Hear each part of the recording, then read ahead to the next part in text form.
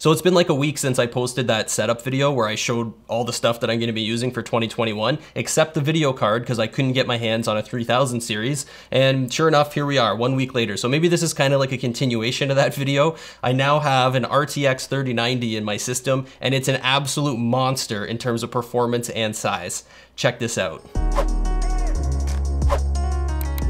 This is probably a good time to say that this is not intended to be a review of the RTX 3090. The 3000 series cards from Nvidia launched a while ago now, and just because of the crazy supply shortage, I've only just been able to get my hands on one right now, so that's why I'm showing it to you now. If you really want to know about um, some of the GPU architecture and all the stuff that's behind this thing, then go ahead and check out some reviews online. There's a billion of them out there. What we're going to do instead is take a close-up look at this 3090, and then I'm going to actually play some games with you right here on camera, where you can physically see the performance on the screen and how smooth it is. And I'll show you all the different settings that I'm using in game. And we'll throw an FPS counter up there so you can see the real-time frame rate as we go through and play these games. So this should be a really different and unique way to take a look at the performance of a video card and a system overall. The RTX 3090 is powered by NVIDIA's GA102 GPU, which includes 28.3 billion transistors, and it's based on their brand new Ampere microarchitecture. In addition to 10,496 CUDA cores, second generation ray tracing cores, and third generation tensor cores,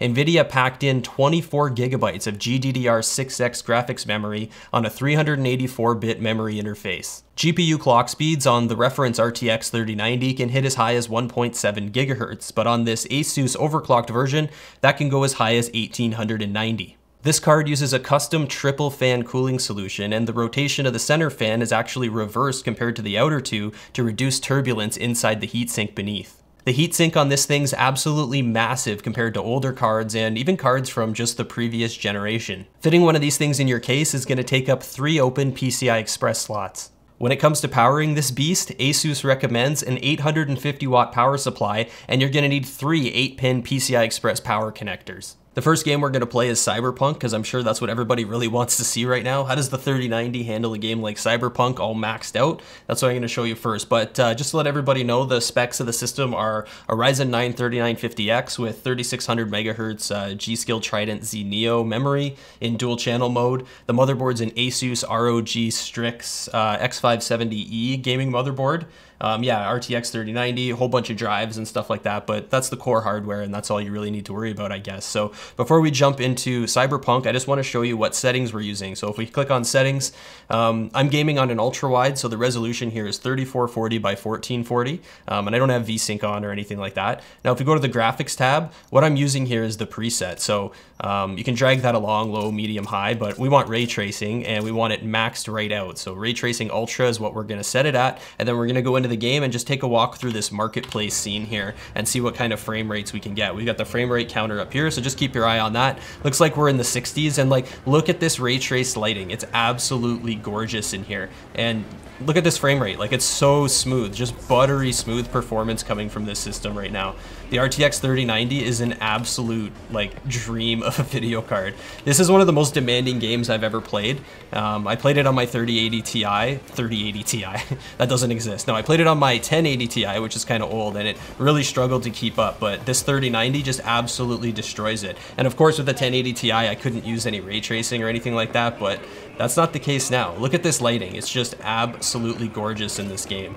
So I just skipped through some time so that I just got hit by a car. I just skipped through some time so that we could take a look at what this world looks like during the day because we just saw it at night and it looked pretty cool and glowy and stuff like that. But now it's around 6 p.m in the game. It's supposed to be 6 p.m. So we got a nice sunset coming in. And again, look at this ray trace lighting. It's absolutely gorgeous. Ray tracing, all the settings cranked up to the max. Population density set to the max. You can see all the people walking around and stuff like that. This world just really comes to life in this game. It's just unreal.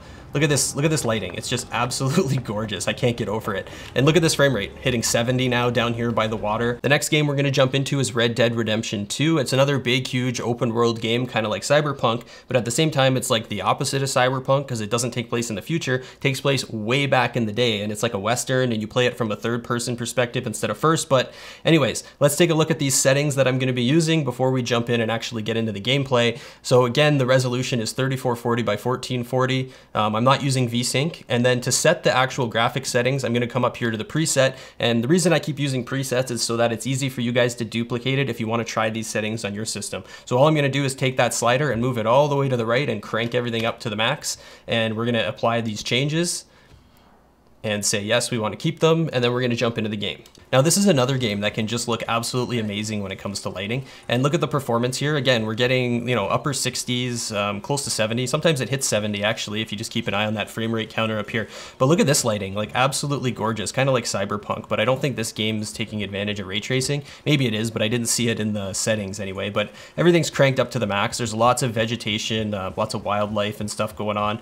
And again, those light rays just coming through the, uh, the fog fog and stuff like that. Look how gorgeous this is. Some of these new games, man, they just look so good compared to what I remember when I was growing up playing video games. This is just unbelievable. There's nice water reflections. If you haven't played this game, I do recommend this one actually. Like I said before, it's not really my cup of tea, if you will. I like to play first-person shooter games, but in terms of graphics and storyline, this Red Dead Redemption 2 is actually really good. But we're supposed to be talking about performance here, so just, just keep an eye on that frame rate counter as I move around here. Again, very solid performance. Look how smooth this is as I pan around. No lagging, no stuttering whatsoever, just buttery smooth gameplay the whole time. You can run through this forest here with all this vegetation. Again, we're sticking around 70. It's not really, oh my god, we're almost hitting 80. Oh my god, look at this. This looks so good, it's unbelievable. I've never really been one to want to go horseback riding or anything, but I can just do it all day in this game and just look at the graphics. Some kind of shootout going on behind me here. Whoa, it jumped over a fence by accident. Stomp on some crops. Oh yeah, now I got Doom Eternal loaded up, and for some reason my frame rate counter is not working with this game, but it does have one built in. The only downside is it's now over here on this side, so you're probably not gonna be able to see it as easily as you could before when it was on the left-hand corner of the screen, but that's all right. When I jump into first-person view, you'll be able to see it there. So let's take a quick look at the settings before we jump into some gameplay here. 3440 by 1440 again, 21 to 9 widescreen aspect ratio. Now let's just go down to these graphics quality settings here. Overall quality, Ultra Nightmare, that's what we want right there. That's as high as this game is gonna let us go, and it's equivalent to, I guess, Ultra on most normal games, but Doom likes to call it Nightmare. So I've already actually got it set like that, so let's jump in and see what it's like. So here we go, right into a fight scene. Love Doom, it's super fast paced if you haven't played it before. It's a lot more my style. I grew up playing Unreal Tournament, played the original, played 2003, 2004, and then stopped after that because they came out with UT3 and it was the worst game ever and uh, pretty much killed the franchise. So yeah.